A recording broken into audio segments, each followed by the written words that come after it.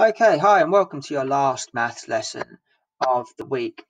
We are going to continue with multiplying fractions. This time, we are going to look at how we multiply a whole number by a mixed number. Okay, so we are just moving on, adding an extra step to what we already learned yesterday.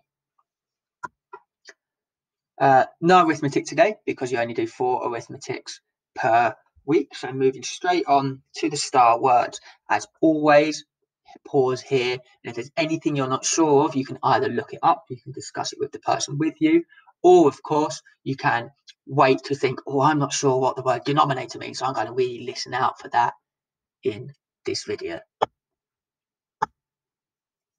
Okay, what we are going to do now is work out how to multiply a mixed number. Now, this uh, is quite simple if we just follow the step-by-step instructions and we uh, work out just how to add on to what we learned yesterday. Okay, let's have a look at a problem together. A bottle holds one and a quarter litres of water.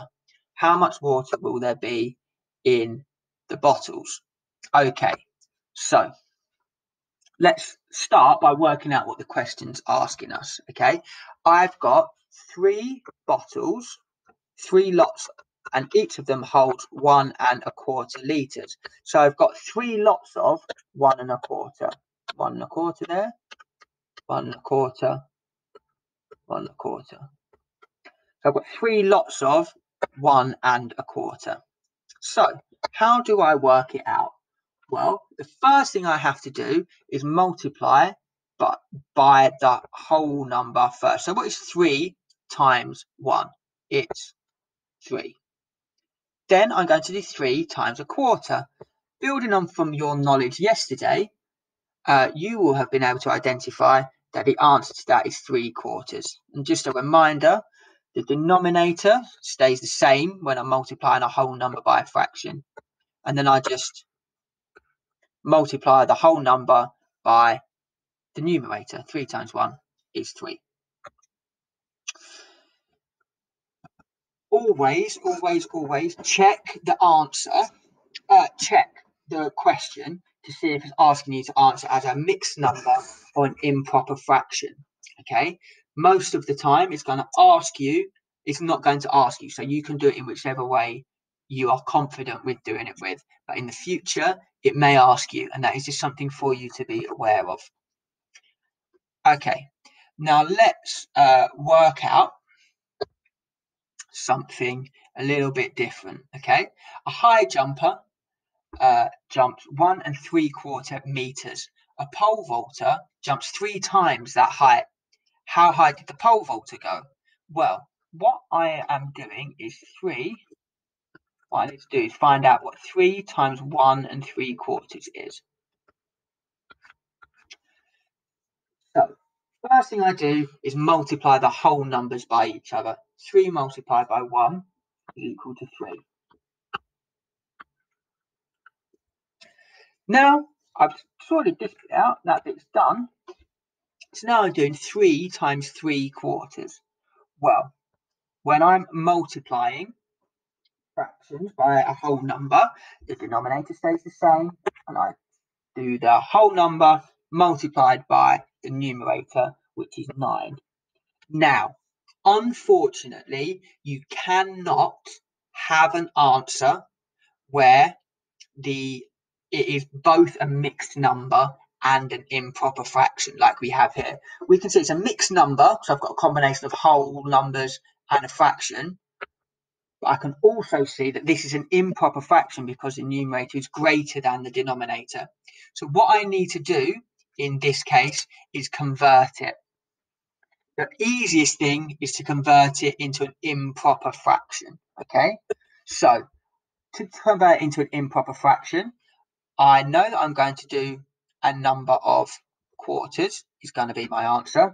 I do the whole number times the uh, I do the whole number times the denominator. 3 times 4 is 12. And I add on the original numerator and that is going to give me the answer 21 quarters. if you want to convert the other way, if you wanted to say, okay, well, I know that nine quarters is equal to two and a quarter, and I'm going to add them together to give me five and a quarter. Okay, so either of those answers would be acceptable. Um, we just done that one. So let's uh, move on. Multiplying a mixed number then. Andy runs one and a fifth of a kilometre every day.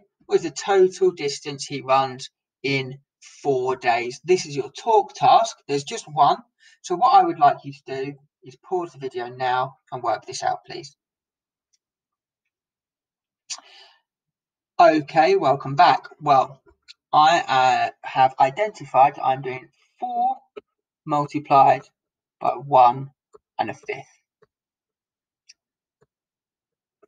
Okay, I start with the whole number part of it, and I'm doing 4 multiplied by 1, which is equal to 4. So I've dealt with that bit now, so that bit's done. Now I'm doing 4 multiplied by a fifth. Well, I know that when I'm multiplying a whole number by a fraction, the denominator stays the same. Fifths I'm dealing with.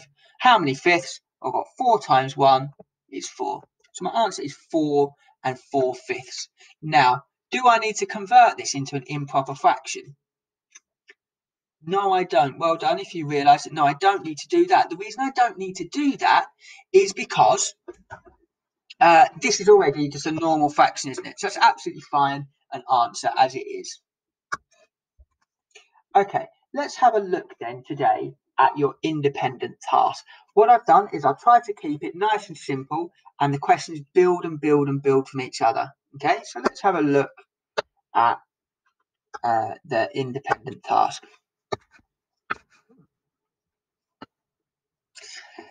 Your independent task today is just 10 questions, okay? Just the one challenge and just 10 questions.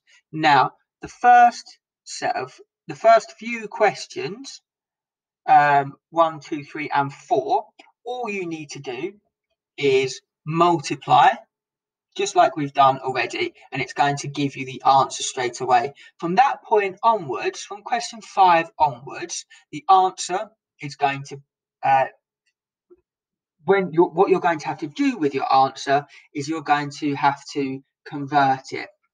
So it's either an improper fraction or a mixed number. You'll understand once you start moving with them, um, once you start getting along with them. So if you you should be able to do question one to four nice and simply following the steps given. Then remember what you need to do is uh, convert because you cannot have a combination of a mixed number and an improper fraction okay?